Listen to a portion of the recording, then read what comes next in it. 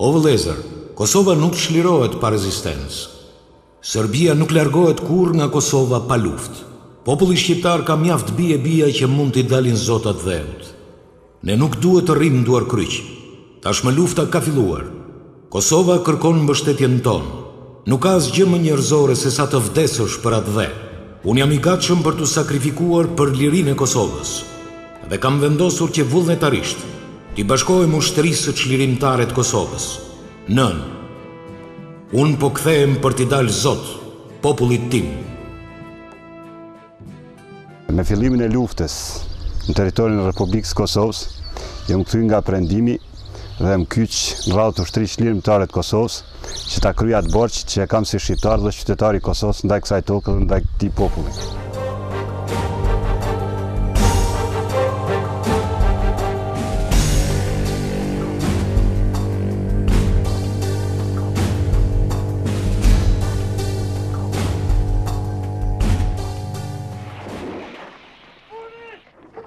Kosova nën pushtimin serb po përjetonte të gjitha format e shtypjes, terrorit e represionit shtetëror.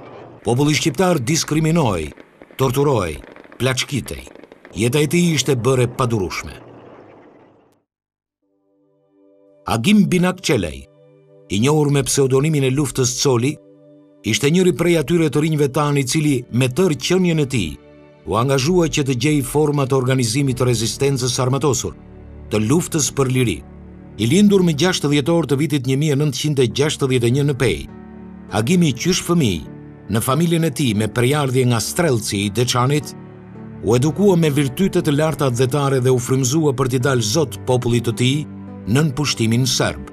Pas mbarimit të shkollës së mesme teknike në Pejë, Agim Çelaj dy vite të Akademisë së Përgjithshme Ushtarake i kryeu në Beograd, dhe diplomohet në Akademinë për Artileri në Zarë të Kroacisë, qytet ky i njohur për praninë e elementit arbëresh shqiptar që pas luftrave të Skënderbeut. Kemi qenë në Akademi Ushtarake bashkërisht dy vite në Beograd, mandej e kemi zgjedhë të njëjtin drejtim, artilerinë në Zarë dhe kemi qenë dy, edhe dy vite bashkë në një klasë, kisha me thonë, me Agimin në Zarë, e kemi kryu akademinë të njëjtën ditë, e të njëjtin drejtim artilerinë, unë e pata fatin që të mbes në të shërbej në Zarë, kurse ai kaloi në Vis, dhe më thonë në një ujëdhesë afrë Splitit, dhe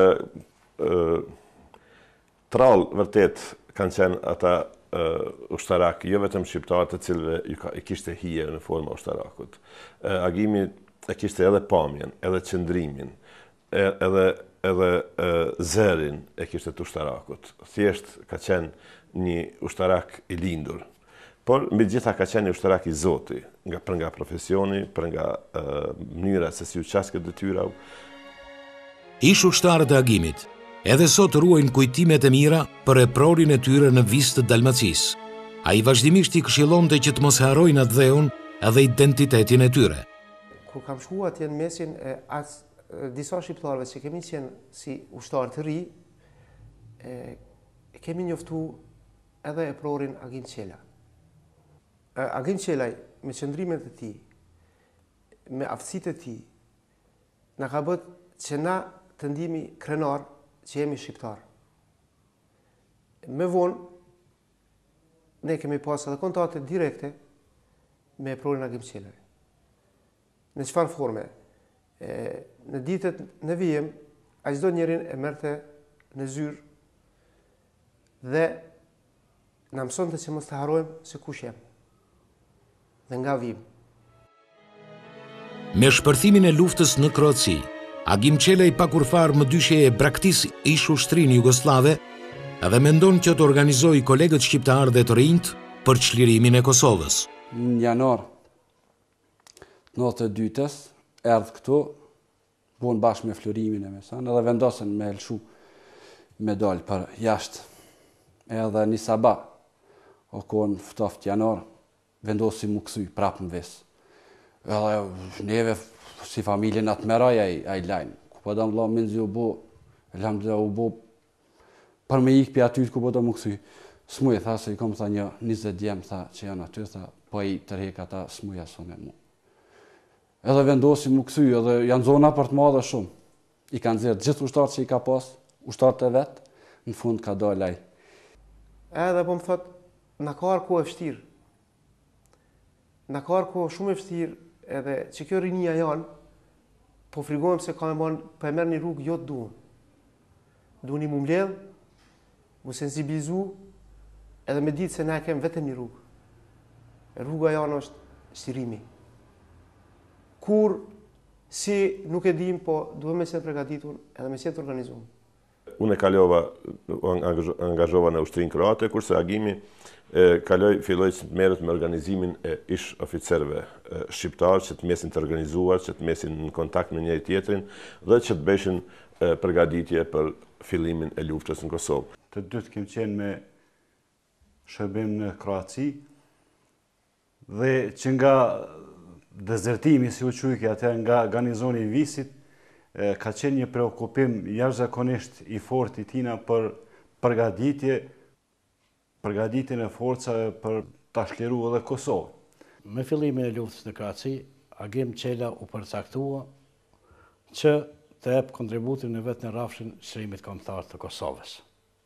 Ai, e la ni banesë katërdhomëshe në Vis, i la të gjitha beneficionet që i ofrojke Tuxhmani dhe Kroacia dhe e runte gjakun për çlirimin e Kosovës. Me qëllim të intensifikimit të përpjekjeve për krijimin e bërthamës së luftës kundër Serbisë, Agim Çelaj në vitin një mijë e nëntëqind e nëntëdhjetë e dy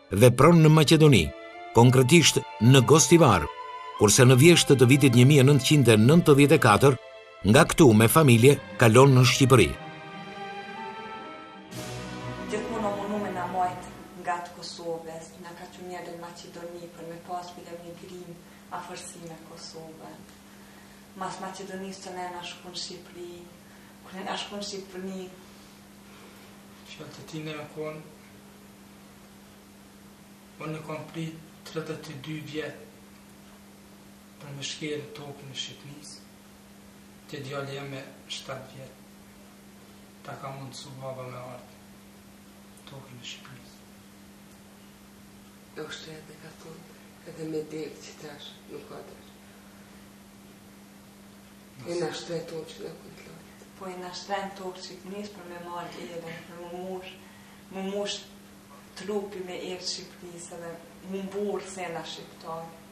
Ne kishim shumë sfida para vetes. Sidoqoftë materiale, sidoqoftë në organizimin kombëtar, sidoqoftë në organizimin e eprorëve, anë e mbanë botës, që Agim Çelaj ka qenë një shtyllë e rëndësishme e organizimit të atyne eprorëve. Por, më e rëndësishmja është organizimi I gjithë eprorëve shqiptarë për Zot e Mëmëdhe dhe për çlirimin e Kosovës që është mbajtë në Visburg në vitin një mijë e nëntëqind e nëntëdhjetë e tre me prezencën e Muharrem Majalushtë në organizimin e tij me Agim Çelën natyrisht dhe me mua e shumë të tjerë. Pastaj janë studimet Plani për Çlirimin e Kosovës. Në mars të vitit një mijë e nëntëqind e nëntëdhjetë e pesë, Agim Çelaj me familjen e tij detyrohet të strehohet në Singen të Gjermanisë. Edhe këtu bën përpjekje që të mobilizojë mërgatën shqiptare për t'u përgatitur për luftë të armatosur kundër regjimit okupues serb në Kosovë.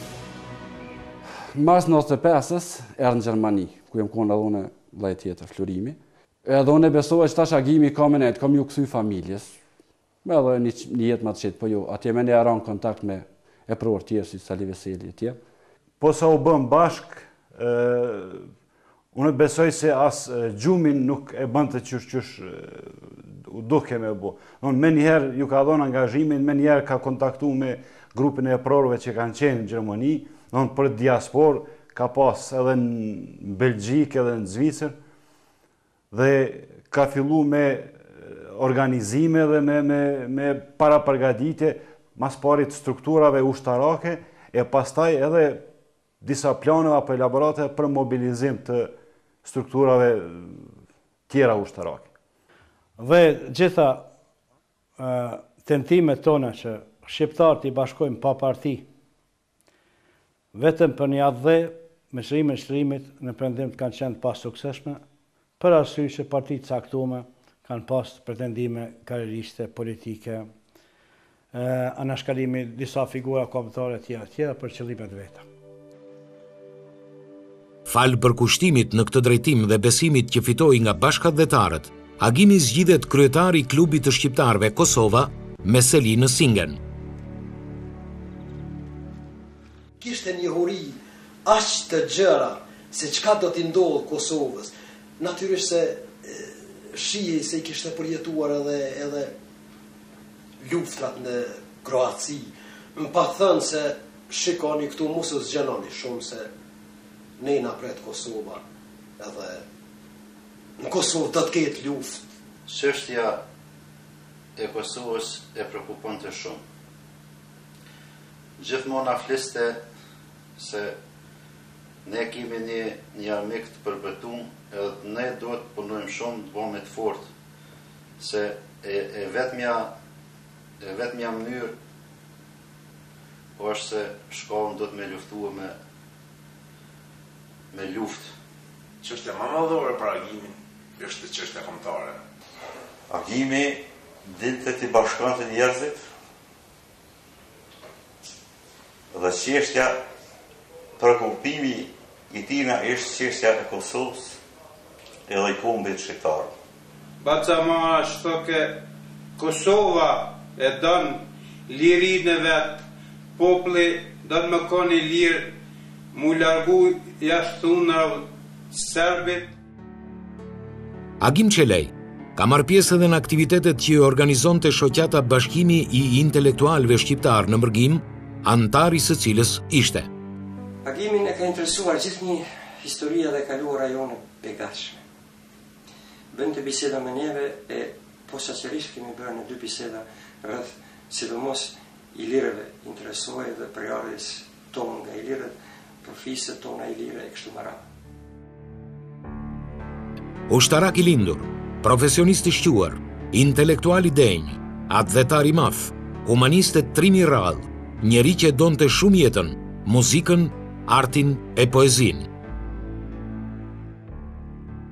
Thënë sinqerisht, edhe pse Agimi nga profesioni ishte një ushtarak, ai kishte një ndjenjë të jashtëzakonshme për kulturën, mbështeste njerëzit që punonin për kulturën, ishte njeri me një diapazon të gjerë, domethënë, jo i fokusuar vetëm në artin e tij ushtarak që ishte shkolluar, Bashkatdhetarët tanë në Singen të Gjermanisë e përkujtojnë zërin kumbues të Agimit gjatë deklamimit të vargjeve nga Lahuta e Malcisë e Gjergj Fishtës. Po s't'janë pa gjallë ty nana se në Shqipni ka djem si zana që për mret e troje të veta nuk u dhimet gjaja as jeta, ku e lyp besa e lyp burnia, e lyp ndera e lyp trimnia këta ma t'parët janë n'ballë t'mejdanit. Kta ma të rreptë jon për ballë dushmanit jon çelik për teh t'taganit e ti vjen tash e na thu se në Shqipni një djalë drangu t'cilit mos i dhimet jeta për davlet e trojet veta fort kërkova e nuk e gjeta por s'ke faj se zani i zi ai ka dal po për Shqipni qysh se erdh pasha Turqeli edhe sot zog shqiptari qi rri n'kamë do të rri qyqari Si punu nesër na ka i pari. Por po i lëm na tash këto fjalë. Në Vraninë qe unë jam tuj dalë. Veç të lypen dyzet vet. E dyzet vet po djem të le qe do të desin ku të zatesin. E po te besën e Zotit se pa u djegun flakë barotit. S'kam me lshu për gjallë Vraninën. Ai ka qenë gjithmonë një princ që të ka dhënë fuqi, të ka dhënë edukatë. Kena vënë jashtë Kosovës.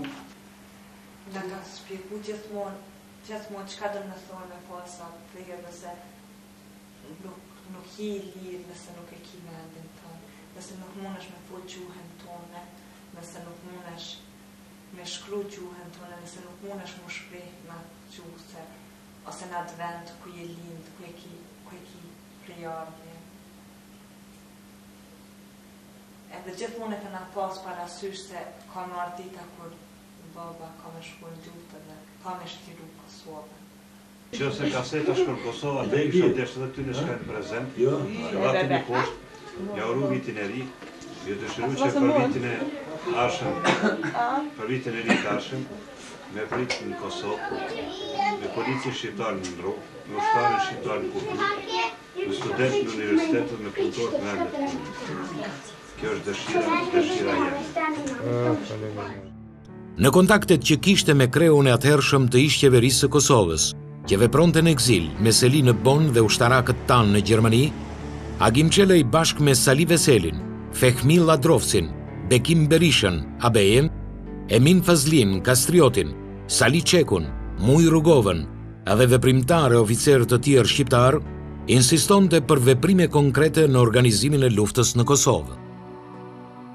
Ne kemi patur një shtab të përgjithshëm dhe ta quaja një shtab shumë të fuqishëm në krahasim me ushtri tjera apo organizata tjera i cili çdo herë ka pas informata të sakta, të bollshme nga burime shtete perëndimore që nuk do t'i ceki, që për çdo dy orë që është zhvillu një plan që në shtatmadhori të Serbisë ne kemi pas në dorë. Edhe Agim Çela ka qenë drejtpërdrejt i kyçur në në deshifrimet, në realizimet e atyne planeve, në gjitha ato që kemi bo, ka qenë shumë i direkt. Domethonë njeri shumë kyç, që i ka ditë gjitha gjërat dhe ka qenë pjesëmarrës aktiv në çdo zbatim të planit ka qenë pa dyshim Agim Çela. Në atë kohë ishin formuar, të them grupët ose faktikisht ishin koordinatorët për eprorët, ish eprorët ushtarakë. Një ndër to ishte edhe Agimi i cili jetonte në Gjermoni. Dhe u taku me to në Gjermoni, kur filluam të bisedonim për pregaditjet tona eventuale për t'u kyç në Kosovë. Me Vrasjen dhe ramjen e Halit Gecit me njëzet e tetë nëntor të nëntëdhjetë e shtatshit, atëherë unë meqë këta djem të cilët i njifsha nga protestat e tetëdhjetë e nëntës, nëntëdhjetë e njëshit, me të cilët kisha bashkëpunua këtu, i thras në telefon Fisnik Cukajn, Hashim Thaçin, Kadri Veselin dhe i pyes, Jeni në lidhje me këta djem poshtë? Më thanë, Na jemi në mes të fushës së futbollit. Kjo ishte një bisedë pak a shumë, si të thuash, e msheftë, që mos të merret vesh për çfarë bisedojmë. Pastaj jemi takuar me Kadriun, me Hashimin, jam takuar unë në Bazel, Dhe ju kom dhan emrat e gjithë eprorëve ushtarakë që mund të hyjnë në Ushtrinë Çlirimtare të Kosovës. Ishte faza fillestare e mobilizimit apo kalimit në fazën ma të lartë të organizimit dhe të mobilizimit për çlirimin e e vendit dhe aty kom pas fatin dhe knaqësinë lirisht mund të them po është nder që të njihesh me një personalitet çfarë ishte Agim Çela. Me Agimin aty kem pas pastaj më kujtohen muhabetet që i zhvillonim dhe kur kishim bisedë në rreth organizimit ushtarak, ajo pjesë për mua ka një rëndësi të të veçantë. Agimi fliste me një emocion, po ishte edhe dominant edhe, në, edhe kur kishte oficer të cilët ishin të shkolluar, të kryer, të kishin akademinë e kryer. Megjithatë, zëri i Agimit ishte ma i vendosur, ishte shumë i qartë dhe demonstronte aftësitë e tij që i kishte në atë fushë. Agim Çelën e kemi takuar përmes Profesor Muj Rugovës, i cili e njihte personalisht, Ne e kemi takuar dhe në pranverë të vitit nëntëdhjetë e tetë kemi grumbulluar një numër të konsiderueshëm të gjeneratës së parë të ushtarakëve të cilët kishin shprehur gatishmërinë, zotimin, e tyre për t'u futur në Kosovë. Dhe Agimi ka qenë i gatshëm që ditën e parë të eci për frontin e luftës. Agimi ka ditë jo vetëm të luftojë, Agimi ka ditë edhe të shkruajë. Kemi bo tekstin e betimit. Dhe para kësaj, këtij mbishkrimit që është pas meje në sfond, të gjithë këta ushtarakë kanë dhanë betimin se do të luftojnë deri në pikë të fundit për Kosovën. Agimi ka qenë ma i sinqerti, Agimi ka qenë ma i devotshmi, Agimi ka qenë ai që nuk ka ditë ka del plumi. Së bashku me Kadri Veselin kemi kontaktuar shumë ushtarakë anekënd diasporës ku gjindeshin ata, në mënyrë që t'i sistemojmë në formacionet e Ushtrisë Çlirimtare të Kosovës. Prej shumicës prej tyre kemi pasur një përgjigje pozitive se do t'i bashkangjiten Ushtrisë Çlirimtare të Kosovës, se do të jenë pjesë e rëndësishme e ndërtimit dhe forcimit e profesionalizimit të formacioneve të UÇK-së anekënd Kosovës. Me të rënë në lidhje me Kadri Veselin, Adem Grabovcin, Hashim Thaçin, dhe anëtarë të tjerë të shtabit të përgjithshëm të Ushtrisë Çlirimtare të Kosovës, Agimi me shokë hasi në mbështetje të parezervë për të realizuar vullnetin e madh për të ndihmuar luftëtarët e lirisë në Kosovë. Agimi ka qenë njëri prej kreatorëve prej aktorëve të pregaditjes për luftën në Kosovë. Agimi jo vetëm që ka hy në luftë vetë, po ka pregaditë psiqikisht edhe fizikisht djemtë dhe vajzat që kanë ardhë vullnetarë në frontin e Kosovës. Shumë me gëzim them emocionalisht e ka prit fillimin e luftës, shumë emocionalisht e ka marrë dhe shpirtnisht e ka marrë përjetimet e shqiptarëve në Kosovë, pasi në atë fillim janari, shkurti, marsi, shikoni vetëm nëpër televizion, dhe Si kryetar klubi që ishte në rrethin e Singenit, mund të them që me të vërtetë qaq ka pas autoritet, qaq ka pas reputacion, sa në atë kohë kur kur deshi t'i mobilizonte, thuajase dikun dyqind e sa shqiptarë kemë qenë në atë rrethinë aty, gjithë kanë qenë të gatshëm të vijnë të mobilizohen dhe të bashkangjiten luftës tonë çlirimtare. Ka ndihmuar fondin e Ushtrisë Çlirimtare të Kosovës me bashkatdhetarët tanë, pesa e kanë ndigjuar ish kryetarë. Në bisedat që kishim me Agimin,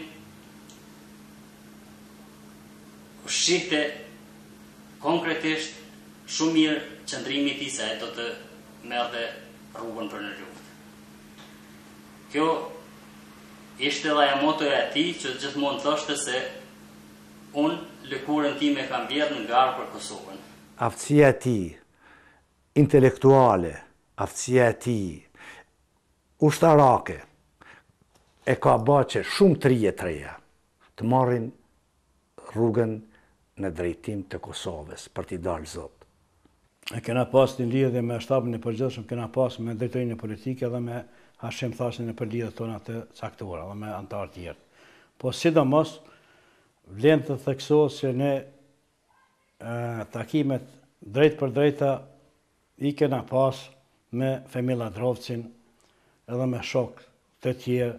Pa ndodhë Likoshani, pa ndodhë Prekazi, Fehmi Lladrovci me Xhemal Fetahajn kanë ardhë dhe jemi marrë vesh, ka qenë Sali Veseli, Bislim Zyrapi, Kanë qenë, nuk ka qenë atë ditë me ne Agimi, ka qenë Rifat Sylejmani prej ushtarakëve dhe jemi marrë vesh që eprorët ushtarakë m'u futë brenda.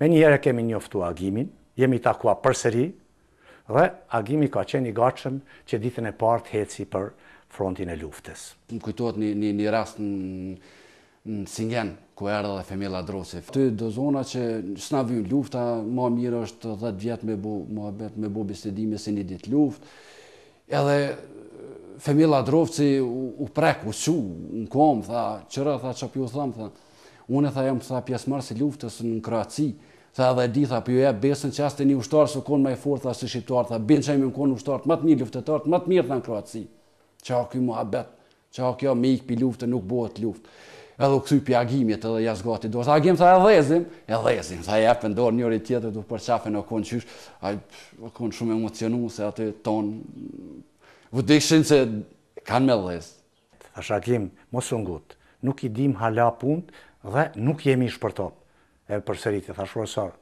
un të kom than edhe po të them prap ket mish dhe ket trup që e kom rrit do ta jap për Kosovën E di që kur ja ka nis lufta, ka, ka, ka ndryshu komplet pamjen, ka ndryshu komplet, nuk, nuk u konë ma Agimi që u konë. S'ka, thojke, mundësi tjetër, pa e shkel Kosovën me qizme s'munesh me shliru paqe. S'ka kurrfarë mundësie tjetër. E tjetër është se dhe lufta farsë, pastron, pastron poplin, pastron gjakin. Me dymbëdhjetë mars, pas ramjes së Jasharajve, në zyrën e qeverisë në Bon kanë ardhë katërmbëdhjetë ushtarakë, midis tyre, Agim Qela, si më kujtohet si sot, pastaj ka qenë Bislimi, si zakonisht, Salihu, Kemal Shaqiri, Rrustem Berisha, dhe të gjithë kanë qenë të gatshëm me hy në frontin e luftës. Atë ditë bare zhvilloshin lufta në front, në front ishte edhe Kadri Veseli dhe u lidh me telefon U lidh me telefon, bisedon, thotë profesor, nigjoj granatimet që i banë Serbia kundër popullatës. Ne jemi në front. Agim Qela m'u lut, profesor, muj me marrë telefonin, i dhash telefonin, edhe, si them, ne një insert shkurt, e mësonte, kështu duhet bahet istikami, fut njiktu, atan, këtan, me lot në sy, e kem myllë atë takim, E kemi mbyllë atë takim dhe Agimi ka qenë i gatshëm prej atyhit me u nis menjëherë për front. Pas betejës së Likoshanit e Qirezit më njëzet e tetë shkurt, si dhe epopesë së Ushtrisë Çlirimtare të Kosovës më pesë, gjashtë e shtatë mars të vitit një mijë e nëntëqind e nëntëdhjetë e tetë në Prekaz, Agim Çelaj, la familjen e tij të ngushtë në Singen të Gjermanisë dhe ishte ndër oficerët e parë të Ushtrisë Çlirimtare të Kosovës, të cilët në pranverë të vitit një mijë e nëntëqind e nëntëdhjetë e tetë hynë vullnetarisht nga Shqipëria në Kosovë për të luftuar kundër Serbisë. Kur më thirri n'telefon më tha non, qështu qështu tha kom vendos me ardh poshtë. Thash non hajrli koft.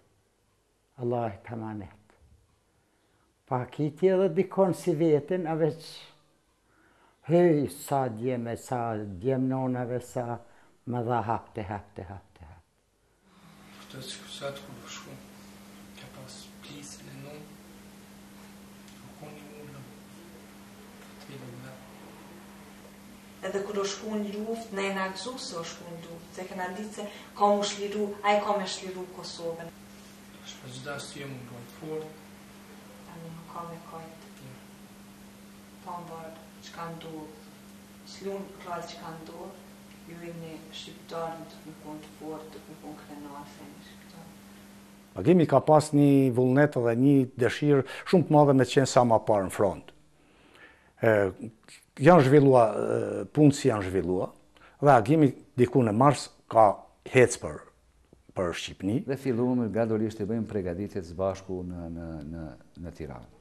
Edhe me eprorë të tjerë të cilët mërrinin pastaj edhe nga vene të tjera, si nga Bosnja, Kroacia, veneve të tjera, i morëm dhe i vendosëm në disa qendra ku bëshin pregaditjet, stërvitjet për ta, se si mund të gjinden në teren, përdorimi i armëve dhe mënyrën se si duhet të organizohet n'mënyrën ushtarake. Ka ardhë normalisht me një me me një ofertë për me qenë në poste të larta të të të një strukture që duhej të formohej në në Tiranë, por Agim Çela ka qenë njeriu ma i vendosur, oficeri ma i vendosur që oficerët shqiptarë nuk kanë çka rrinë në Tiranë. Pra, kjo ka qenë ajo që e ka dallu Agim Çelën prej shumë oficerëve tjerë që ndoshta kanë pas në ato momente për shkak të rrethonave. Më kujtohet shumë shpesh gjatë edhe punës së përbashkët kur shkojshim t'i kontrollojshim armët ose kur shkojshim te terreni për pregaditjet, Ishte i padurueshëm në atë otër të pa. Kur sa do të rrim këtu në, pse nuk do të hymë brenda, duhet sa ma shpejt të hymë brenda. Një vullnet të tillë, do thotë, dhe një vendosmëri të tillë, që mundësisht as një ditë mos me nejtë në Tiranë, po për me hi në Kosovë, e ka pas Agim Çela. Dhe ai i ka motivu edhe të tjerët oficerë. Dhe më në fund erdhi ajo ditë, dhe gëzimi i tij i madh, veç erdh urdhri që ne duhet me ecë, me hyrë në Kosovë. Dhe më kujtohet mirë mbërrimë diku më 25, 26, në këto ditë në maj, në 98, mbërrimë në Vlahën, në Has, në Krumë, u vendosëm në disa shtëpi, ku pritshim pregaditjet tjera që duhet të merrte me vete si armë, teknikë e ndryshme, dhe pritshim edhe grupe tjera të ci Doshin të hynë mbrenda në Kosovë. Më kujtohet shumë mirë një figurë e ndritshme, një ushtarak për të cilin kishim të gjithë respekt, Agim Çela, një njeri në sytë e tij unë pashë dashurinë e lirisë, ishte një ushtarak i përgaditur. Bisedonim shumë me të. Tha, njëherë më kujtohet kur tha, Zotit shyqyr që më erdh ky rast, që krejt eksperiencën time ushtarake ta jap sot për popullin tim, për vendin tim. Udhëtimi me Agimin ka qenë, lirisht mund të them një udhëtim i veçantë, sepse ishin edhe ushtarakë të tjerë. Përpjekjet tona ishin që me çdo kusht kufirin ta kalojmë me pa pengesa. Përmes veriut të Shqipërisë, Kadri Kastrati, Agim Çela dhe disa të tjerë, kemi hyrë në Kosovë, Terreni ishte pak i panjohtur për ne, për arsye se nuk ishim kaluar në atë teren kurrnjëherë, as unë, as Agimi, as kolegë tjerë. Do të them Agim, ki, ki kujdes, se je në Kosovë tash, ki kujdes. Në një moment në, në lartësi, në bjeshkë, papritmas Agimi ka ra në një bunar ta quj kështu. Dhe kem mendu për një moment se ne e humbëm Agimin, por Agimi ka qenë edhe fizikisht shumë i përgatitur dhe falë asaj përgatitje të tina, Agimi u mështet në gurët dhe pastaj ne s'bashku i kem ndihmu dhe e kem tërhek. E nëzorën pa, po shefër për Agim pa, ala pa hy mirë në Kosovë ti po don, po pa, edhe me vdek tu, kam vdek në tokën tonë dhe në Kosovë. Dhe e tregojke ni vullnet shumë të madh, nga thellësia e zemrës tij për të hyrë, për, për të luftuar dhe për të ndihmuar. Shkuam për herë të parë në Drenoc të Zatriqit. U vendosëm aty për një pushim 2-3 ditësh apo ashtu më kujtohet diku. Më 28 maj në vitin 1998 kur kanë ardhë rreth tetëdhjetë me t'uniformunë, në mesin e tyne janë kon tetë eprorë, mirëpo më kujtohet veçantë Agim Çela që ish kon një njeri i përgatitun, një ushtarak tamon si i ka hije me kon, edhe ishte ardhë me gjithë vullnet e shpirt me dhanë kontributin e vet ni atdhetar shumë i fortë. Ku mbërrijtëm në Likoc. Fillun pastaj aty në shtab dhe bënë ndarjen e eprorëve të cilët erdhën me nga nga jashtë. U ndajtën në zona të ndryshme simbas edhe zonave edhe kërkesave që ishin. Unë dhe Agimi mbetëm në shtabin e përgjithshëm, pranë drejtorisë operative, si oficerë të cilët ishim për trajnime për zhvillime të të të UÇK-së. Ardhja e Agim Çelës me shokë do të jetë një shtysë e madhe për formimin, për riorganizimin, për strukturimin e gjitha njësiteve operative që në atë kohë vepronin në kuadër të Ushtrisë Çlirimtare të Kosovës. Për mua ishte një njohje me një oficer karriere, Ishte një njohje me një intelektual, ishte një njohje me një personalitet pedagog në kuptimin e afërsisë, në kuptimin e organizimit, në kuptimin e njohjes dhe punës me nivelet ushtarake që deri në atë periudhë kisha pasur fatin dhe rastin të njihesha. Me ardhjen e këtij grupi ushtarakësh, me vendim të Shtabit të Përgjithshëm të Ushtrisë Çlirimtare të Kosovës, Gjithë këta ushtarakë u shpërndanë në gjitha zonat operative të Kosovës. Agim Çela u ngarkua nga Shtabi i Përgjithshëm i Ushtrisë Çlirimtare të Kosovës që të punojë në profesionalizimin e njësiteve të specializuara të Ushtrisë Çlirimtare të Kosovës në nivel të Shtabit të Përgjithshëm, por edhe në nivel të zonave operative dhe inspektimit të zonave operative. Ishte një njeri që e donte artin ushtarak, e donte shumë dhe punoi shumë për organizimin e formacionave të para të Ushtrisë Çlirimtare të Kosovës. Dhe bëri një inspektim të përgjithshëm gati të të gjitha zonave që atëherë ishin funksionale të Ushtrisë Çlirimtare të, të Kosovës, dha vlerësime profesionale që kishte nevojë t'i kishte Shtabi i Përgjithshëm i Ushtrisë Çlirimtare të Kosovës, dhe njëkohësisht ishte komandant i njësitit të parë elitë që ishte paraparë që të jetë njësia më e përgaditur ushtarake, në aspektin profesional, si njësi elite e Shtabit të Përgjithshëm të Ushtrisë Çlirimtare të Kosovës, natyrisht për mbrojtjen edhe të të anëtarëve të Shtabit të Përgjithshëm të Ushtrisë Çlirimtare të Kosovës. Përveç që ka qenë një oficer i shkëlqyer i cili aftësitë e tij profesionale i ka dëshmuar në në në terren, ka qenë edhe një njeri i cili ë pothuaj ka qenë i kompletuar nga gjitha anët. Edhe në aspektin politik, edhe në aspektin profesional ushtarak, edhe në aspektin fizik, domethënë rrallë mund të gjeni personalitet i cili i tillë i cili është i kompletuar me të gjitha. Vizitat e Agim Çelës anekënd Kosovës nëpër istikamet e luftës nëpër shtabet operative kanë qenë inkurajim i ri për luftëtarët, kanë qenë mësim dhe mesazh i qartë se lufta duhet vazhduar, se duhet të profesionalizohet dhe se lufta do të fitohet. Kam kaluar shumë kohë bashkarisht nëpër gjitha viset e Kosovës, ruaj kujtimin më të mirë për të, respektin më të lartë për një ushtarak që i kontribuoi shumë lirisë dhe çlirimit të Kosovës. Agim Çelej ishte themeluesi i njësitit special për intervenime të shpejta në kuadër të shtabit të përgjithshëm të ushtrisë çlirimtare të Kosovës.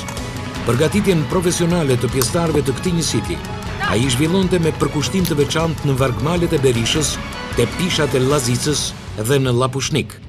Zona pse vepronte në pjesën tonë Agim Çela si kuadër i Shtabit Përgjithshëm, si kuadër profesionist oficer i karrierës, ishte për shkak të situatës specifike që kishin formacionet tona ushtarake, që shtriheshin nga Gryka e Llapushnikut e deri në rrethinat e Kijevës me njësi të tjera pastaj. Këtu ka vepru, ka qenë baza dhe poligoni i ushtrimeve i Njësisë së Vëzhgimit të udhëhequr, Nga komandant Çoli, Agim Çela.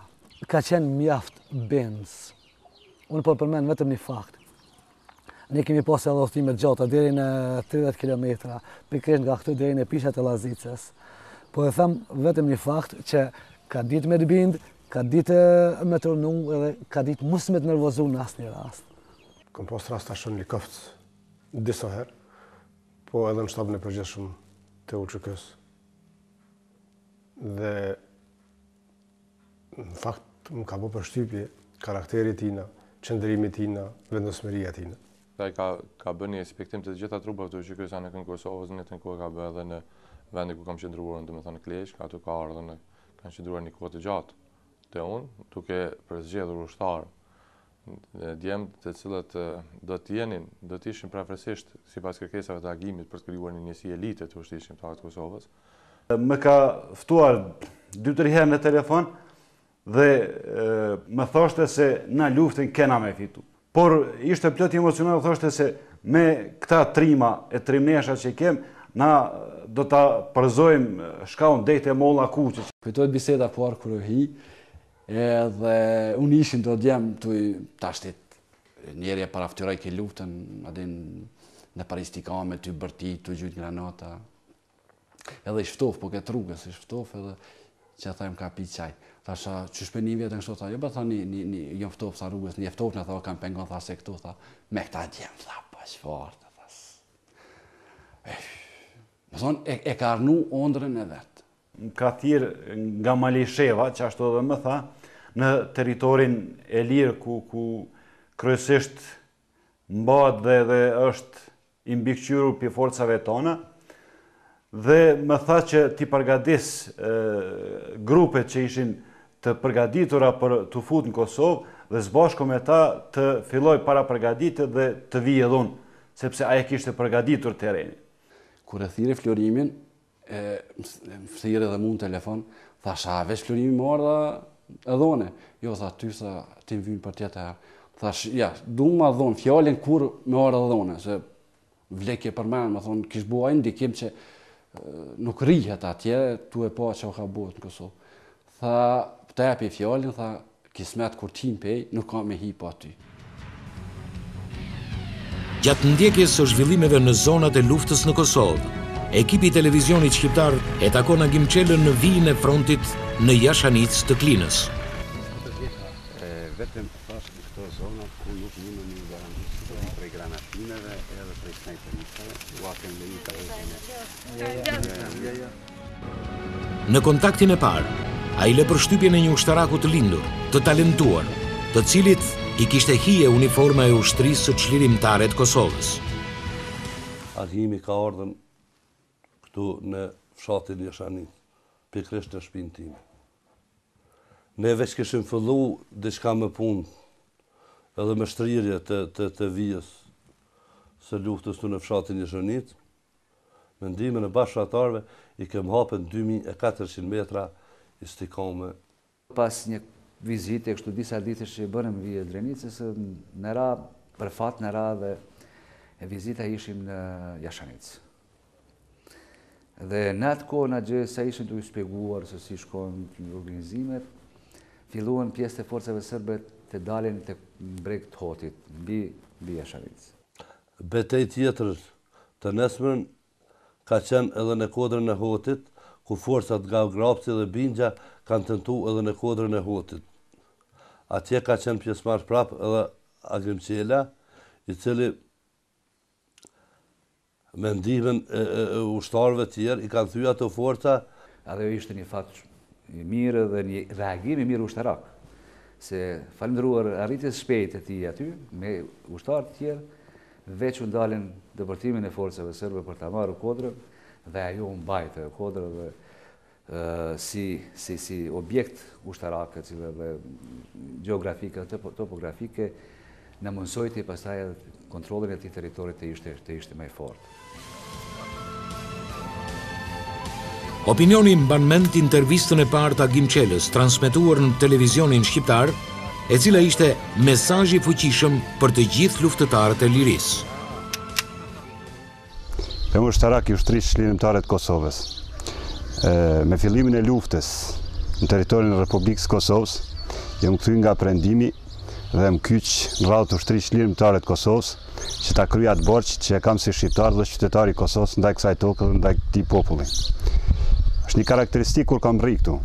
Shifet një vullnet i madh te popullata civile dhe te pjestarët e UÇK-së. Është karakteristikë dhe tjetra. se një pjesë e mirë e rinisë sonë nuk e kanë të krym shërbimin ushtarak. Mirëpo, me vullnetin që e kanë dhe me angazhimin tonë maksimal, ai ajo mungesë kompenzohet. Kështu që niveli i gatishmërisë të forcave tona, të njësiteve tona, të cilat gjenden në terren, është nivel i kënaqshëm. Sidomos në këtë fazë punojmë në, në aftësimin e matutjeshëm, si të ushtarëve si individ, ashtu dhe të njësive për operacionet e matutjeshme në, në nivelin operativ. Nëna e Agimit kujton me krenari paraqitjen me dinjitet të birit të saj. Kem ty kqyr veq kur dul dul ky komandant Kumanova Ismet Jashari uni uh nan t'rujt Allahi veq kur dul Agim Qelaj un kap kryet në dor uh nan emanet Zotit si je dal hakikat ishalla t'run Allahi E kish shi ajo uniformë e kish mush plot. A të kujtohen fjalët e tij, çka thojke kemi aty në Televizion Shqiptar? Jom ardh me i nimu poplit tem, jom ardh me u liru pej pej torturës anmikut, e kemi sos me u shliru ni herë mos me m'nem djali jem me më thon se pse më lan rrethum. Shkaut e kemi sos se kom përkrahje të madhe pej popullit ton kan vullnetin e mirë. Me vendim të Shtabit të Përgjithshëm të UÇK-së, në malet e Luzhnicës dhe në Kleçkë, pranë Fatmir Limajt, komandant Çelikut, dhe Ismet Jasharit, komandant Kumanovës, angazhohet në aftësimin e luftëtarëve nga të gjitha trojet etnike shqiptare. Zonën e mbrojtjes brigadës sonë sulmojnë forcat e armikut me këtë radhitje. Një batalon gjendet në majën e Kodrës së Thatë. Një batalon i kamësorisë gjendet në atë pjesën e pyllit andena ku shifet drejt prej nesh. Një batalon tjetër i kamësorisë gjithashtu gjendet në Lugun e Dushkajës. Grupin e artilerisë zonën e mramë. Detyrë për ty, në njësinë vëzhguese të cilën e komandon, depërton Lugut të Thatë ka fshati Kostrec, hyn prapavijë armikut, i shënon, vëzhgon dhe i vrojton forcat artilerike dhe të prapavijës të armikut, i shënon hartë, dhe na sjell mbas nisesh sonte në mëngjes në ora 3:00. Afati kryerjes detyrës sonte në orën 19:00. Agim Çelaj, epror i lartë i Shtabit të Përgjithshëm të Ushtrisë Çlirimtare të Kosovës, ishte në ballë të marshit të Brigadës së njëqind e njëzet e një në malet e Kleçkës në qershor të vitit një mijë e nëntëqind e nëntëdhjetë e tetë. kur po xhirohej betimi i ushtarëve të rinj.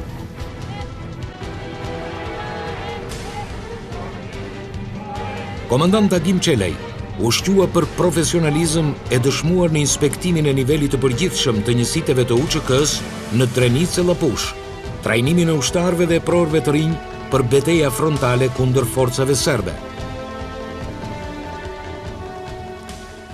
E kujtoj shumë, dhe e kujtoj shpesh.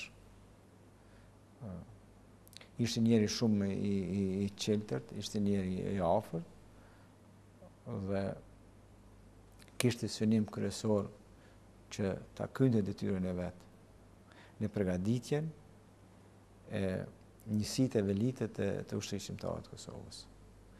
Dhe këtu ai punoi me përkushtim.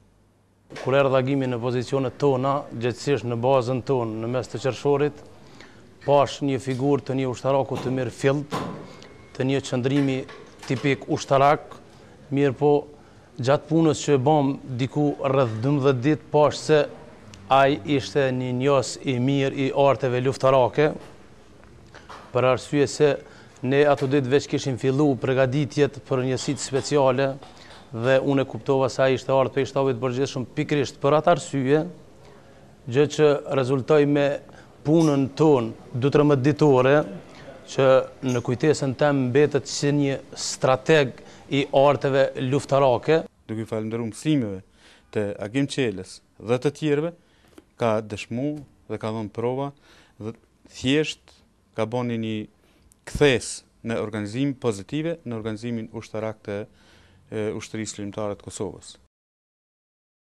Edhe vëllezërit e Agimit, Besimi e Florimi mbështetën Ushtrinë Çlirimtare të Kosovës. Besimi nga mërgimi siguronte mjete financiare dhe të logjistikës luftarake. Ndërkohë Florimi, ushtarak karriere, iu bashkuan luftëtarëve të lirisë në zonën e Dukagjinit, të Drenicës e të Pashtrikut si dhe mori detyra të larta në kuadër të Shtabit Operativ të UÇK-së. Pas përgatitjeve që i bëra me pesëmbëdhjetë korrik, kam ardh në Tiranë dhe përmes Bajram Curit apo Tropojës me shtatëmbëdhjetë korrik jam futur në Kosovë. Menjëherë jam lajmëru në shtabin e Gllogjanit dhe Desha të kontaktoj përsëri me telefon pasi që ish mundësia që të kontaktonim me telefon, por më thanë që Rahoveci ishte në tym e n'flakë dhe nuk ka mundësi të bisedohet më kërkon për momentin. Komandant Agim Çelaj me bashkëluftëtarët e tij ka marrë pjesë në shumë beteja kundër forcave serbe në zonën e Drenicës, të Pashtrikut dhe më gjerë. Pas provokimeve të vazhdueshme të popullatës civile shqiptare nga forcat serbe, në mes të korrikut të vitit një mijë e nëntëqind e nëntëdhjetë e tetë, Agim Çelaj ishte caktuar komandant i operacionit më të vështirë luftarak të Ushtrisë Çlirimtare të Kosovës, atij për mbrojtjen e Rahovecit. Së pari ajo që kishte ndodhur në Rahovec, siç e dini ju, ishte pa dijeninë e shtabit të përgjithshëm ishte as ne nuk kishim kurrfarë informacioni nga ato që kishte filluar në Ravec. Në ndërkohë, ë edhe Agimi ka ka shkuar në Ravec për të parë gjendjen. Agimi ka shkuar i ngarkuar nga shtabi i përgjithshëm për të inspektuar se çka në realitet po ndodh në Ravec.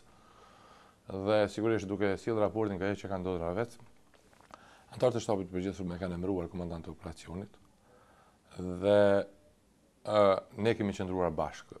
Agimi e ka udhëhequr komplet operacionin në Ravec dhe ndërsa ne të tjerët kemi kemi ndihmuar atë, domethënë në pika të ndryshme. Kisha shumë besim që angazhimi i tij në mbrojtje të të Rahovecit dhe përgjegjësia që iu dha atij si komandant për mbrojtje të Rahovecit do ta kalonim më me me lehtësi.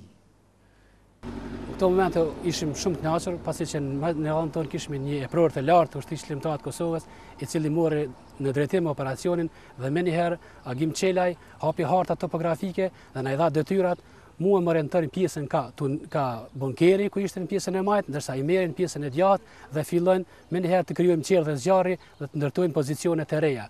Në betejën e Rahovecit morën pjesë njësit i Çelikut, njësit i Lumit, njësit i Pllumave, njësit i Artit, ushtarët e pesëqinshit Drenocit, Zatriqit, njësit i Lisave të Suharekës dhe ishin në ndihmë na erdhën edhe njësia speciale nga Drenica.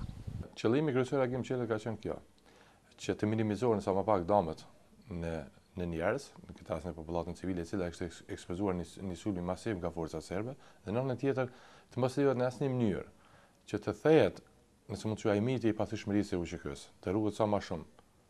Ë, imixhi i UÇK-së që deri atëherë ishte pothuajse imixh i pathyer. Strategjia kryesore e komandant Colit ka qenë, domethënë caku, pika kryesore, që popullata komplet të tërhiqen prej Rahovecit Pa asnjë therrë në këmbë.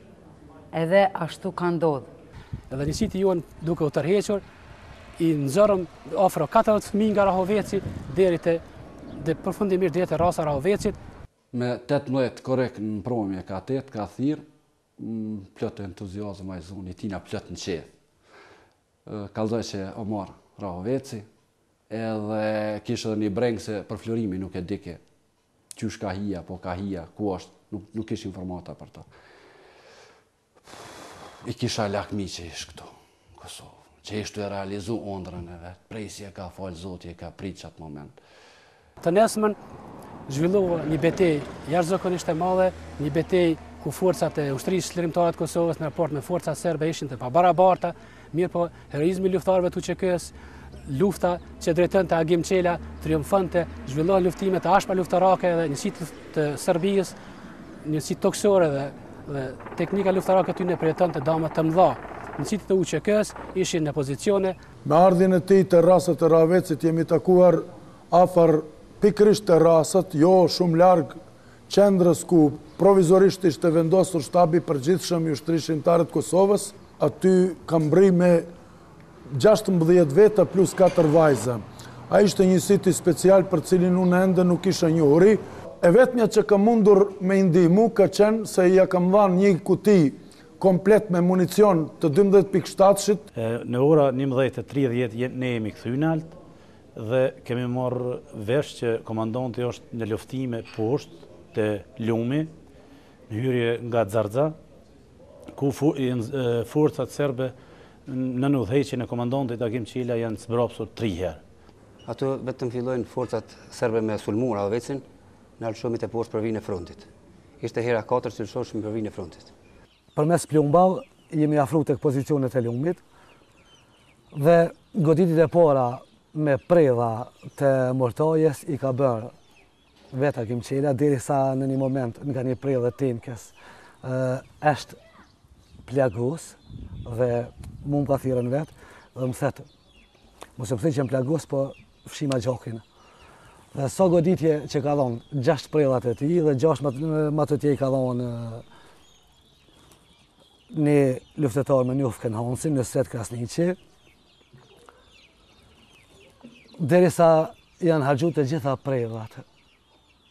Ne kemi qëndruan aty nën komandën e tij. Kemi vazhdu te poshtë dhe plumba pa rreshtu, sikur kur bjen shi ka ra plumba mbi neve. Muj m'iu falënderu stërvitjeve ushtarake t'komandant Solit, sepse po të mos kishin qenë ato stërvitje ushtarake aq t'forta e aq t'mira, na nuk kishim mujt me mbijetu. Ishim në një veturë Agimi. Agur Gjoci, Naser Hoxha, ndërsa në prikolicë të veturës ishte piktori Arbri e Dhonë. Mirëpo forcat serbe na bllokojnë rrugën, kështu që ne bim ballë për ballë me forcat serbe. Kur kemi ra në pritë, afërsia ka qenë dikund 15 metra me forcat serbe, ka qenë tenka, transportera, autoblinda dhe këmbësori. Komandanti ka pri me veturë, me një kamionetë që ka qenë e hapun, Vetëm xhami përpara, ai ka qenë me disa shokë tjerë. Duke dalë prej veturës, Agimin e merr plumi i parë. Kështu që ne fillum luftën, aty zhvillohen lufta të vështira, lufta të forta, kështu që Agimi mbetet i vramë në vend. Ne në momentin tragjik që kemi humbë komandantin, nuk kemi besu asnjë që komandanti jonë ka mujt me vdekë Prej plumit të forcave serbe. Tre shokë, katër, u mundum me tërheq kufomën, sepse aty u plagua edhe Agushi. Agushin e mori plumi në këmbë. Agushi thotë, çelma siguresën, çelmi siguresat e bombave, edhe lenëm këtu se unë du me nejt me Agimin. Mirëpo, ne shokët vendosëm që mos ta lamë Agushin, edhe pse ishte shumë shtirë me ia kthy shpinën Agimit, vendosëm ta marrim gjallë Agushin. Dy shokët tonë gjujnë me armë për me nxjerrë ne Agushin. Kështu që futemi drejtpërdrejt mrena në qytet, gjashtë, shtatë orë luftojmë shpinë për shpinë, derisa shpartallojmë me hi deri në një podrum. Aty mbesim deri në mesnatë, nga mesnata tentojmë me dalë, kështu që mundohemi me shokët, në fund të funit depërtojmë me dalë, nga rrethi. Pas një beteje tejet të ashpër disaditëshe midis forcave tona çlirimtare dhe atyre serbe në mbrojtje të Rahovecit, më 19 korrik të vitit 1998, bien heroikisht, komandant Agim Çelaj, Sadik Shala, Hamdi Berisha, Liman Gegaj, Afrim Krasniqi, Faik Rama, Bajram Deliu, Remzi Ukshini, Gëzim Hamza e Abdullah Bugari.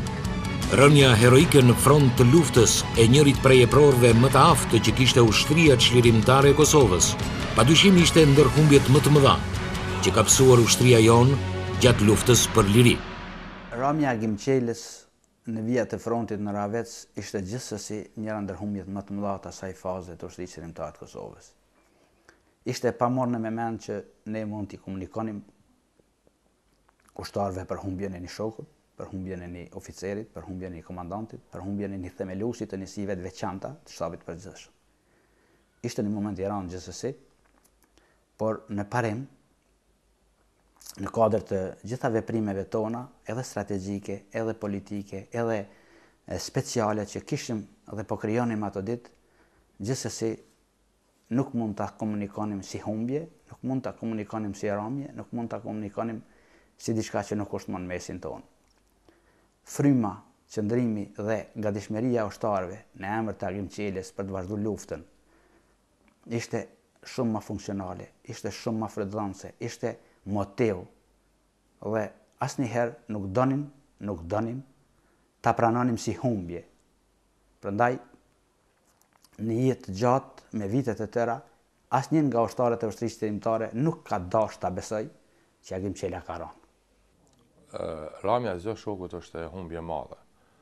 Mirëpo, ramja e Agim Qelës është ramje shumë e hershme për faktin se në momentet më kritike ku i është dashtë UÇK-së, UÇK-ja ka pas nevojë të ketë një Agim, siç ka pas edhe shumë Agima tjerë, po përse veç Agim Qelën, për faktin se jam i bindu që po mos të ndodhte ajo që ndodhi në, në, në Rahovec, vrasja e Agim Qelës atje, sigurisht Jam shumë i bindur që Ushtria Çlirimtare e Kosovës në aspektin profesional do të ishte shumëfish më e përgatitur. Ramja e Agimit për mua ka qenë një goditje dhe shpirtërore dhe shoqërore dhe profesionale. Po jo veç për mua, po edhe për gjithë UÇK-në. Se ishte një goditje për mua, ishte një goditje dhe dhe krahut tim të djathtë që e kisha në atë kohë si profesionist. Jo veç unë, por edhe si edhe shtabi i përgjithshëm në atë kohë. Dhe nuk ishte humbje Vetëm për familjen e Agim Çelës, ishte humbje për shtabin e përgjithshëm, ishte humbje për ushtrinë çlirimtare të Kosovës,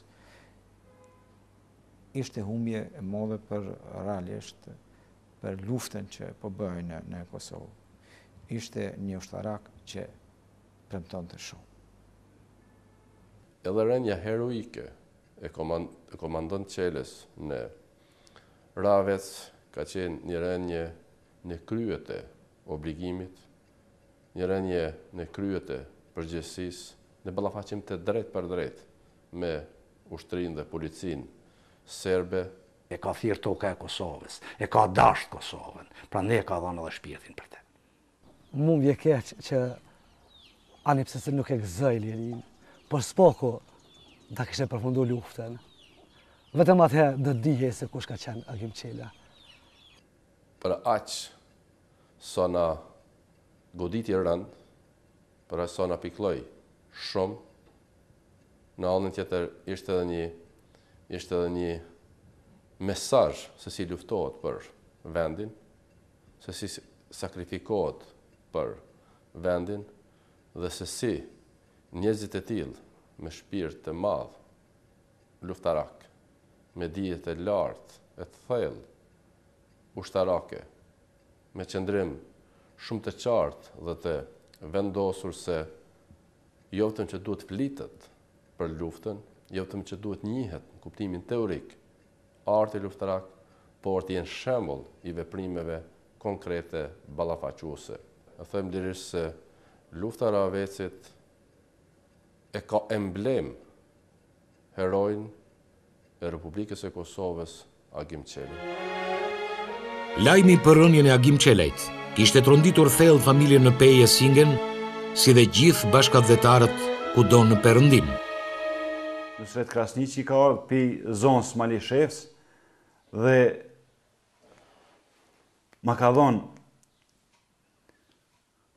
lajmin e hidhur, se vllau t'ka ra dëshmor dhe duhet m'u bo i fort. Isha me Sali Veselin dhe më kanë dhonë gajret ata ata burra aty, sepse nuk ishte lehtë. Ndjeva ndjeva keqardhje që s'isha unë afër aty, s'isha s'isha afër tina, ndoshta me ju xhin. TVSH e qitën lajmin që n'Rahovec janë vrarë diku tridhjetë e shtatë persona, n'mesin e tyne edhe Agim Binak Çelaj, vjeç tridhjetë e shtatë, kon lajm që Ja tri ditë na ka shku me shoqni aty komplet si me genë, tu marrë, tu thirrë, tu marrë vesh, a asht e saktë, s'asht e saktë, asht e saktë. Thonë, përfundimisht oshtar na ka thirrë Florimi prej Kosove dhe na ka konfirmu lajmin që lajmi asht i saktë.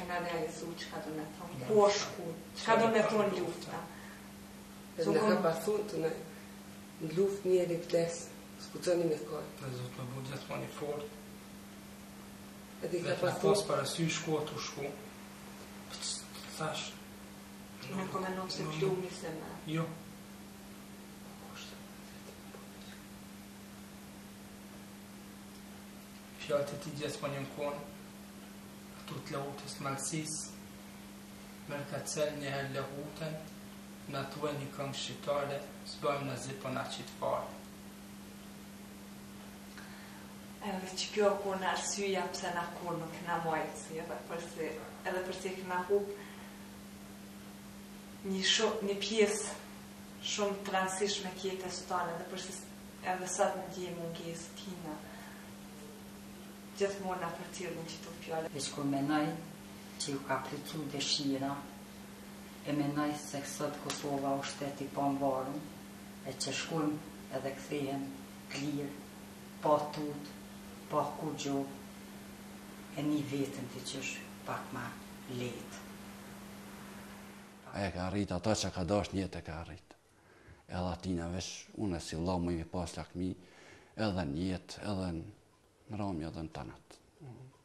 Ai e ka arnu ondrrën e vet, ai e ka arrit atë qëllimin e vet. E kemi pas babë, vlla, motër, nanë, çdo cikërrim na që kemi pas diçka ni problem, atë e kemi pas gjithçka. Veç Agim nona ma s'ban, ajo si o jemi, po për si shpirt pastër e zemër trim si ai s'ka.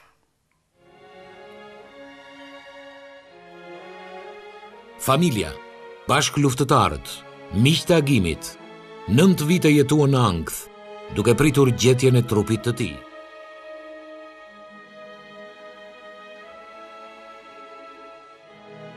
dhe në dhjetor të vitit 2007, në varrezat e Rahovecit nga ekspertët e Institutit të Mjekësisë Ligjore të Fakultetit të Mjekësisë në Prishtinë, u zbuluan eshtrat e tij.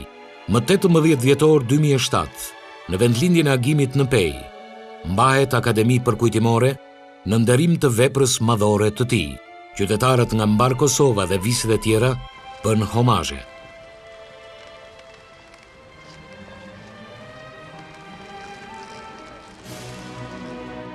E ka majtë fjalën. Atë ditë me 18 dhjetor, jena hi bashkë në Pejë. Ditën e varrimit. Jena hi bashkë në Pejë. I përcjellë nga Garda e Kosovës, funerali i tij është nisur nga Peja në drejtim të varrezave të dëshmorëve në Kleçkë.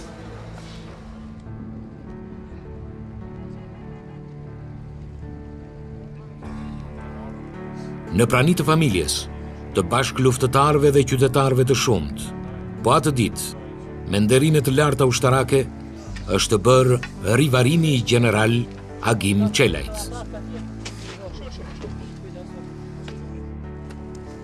Gatitu! Nderim për dëshmorin e kombit.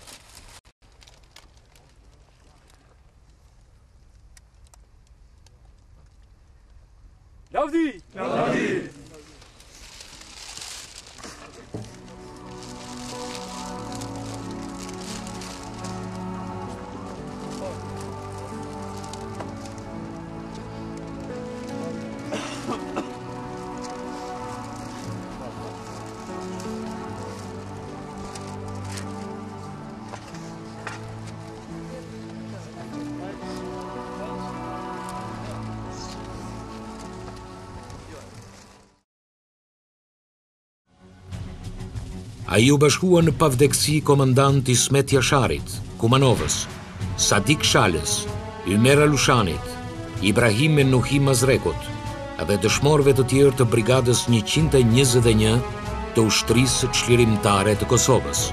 Pas luftës, Agim Çelaj u nderua me gradën Gjeneral Major. Komandant Agim Çelaj do të mbetet përherë në kujtesën e popullit tonë, figurë e madhe dhe e ndritshme e historisë sonë më të re, që do të përkujtohet me nderim nga të gjithë brezat.